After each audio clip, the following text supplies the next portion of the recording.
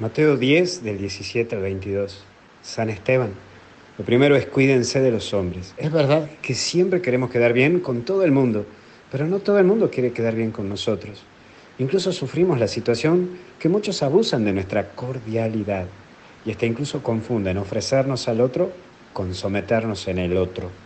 Por eso te vuelvo a recordar que es necesario que seas cuidadoso de lo que te rodean y sé prudente en lo que cuentas de tu vida y muestras de ti. Recordar que dar información de tu vida al otro es darle poder a ese otro. Pero también aparece no se preocupen. Cuando tenés una vida de fe y con la claridad de vivir, podrás enfrentarlo todo y saber que hay un Dios que sigue estando con vos en las buenas y en las malas.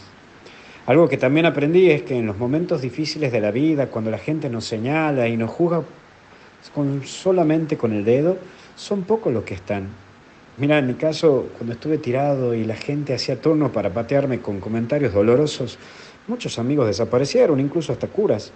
Pero quien apareció, mi amigo, las personas que estuvieron ahí al lado mío, me ayudaron a salir. ¿Y sabes qué? Quien te ayuda cuando estás tirado, debes rendirle lealtad, porque te ayuda desde Dios. Te lleva a Dios y te recuerda para qué te quiere Dios. Por último, salvará. No aflojes, no te tires abajo cuando la gente te quiere insultar y hasta te liquida con sus comentarios. Persevera en la claridad de tus ideas y si hay paz en vos, entonces no le aflojes.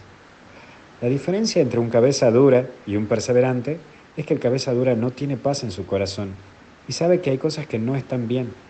El perseverante sabe que debe hacerlo, tiene paz en su corazón y dimensiona lo que está haciendo. Que Dios te bendiga y te acompañe en el nombre del Padre, del Hijo y del Espíritu Santo y hasta el cielo no paramos. Que Dios te bendiga.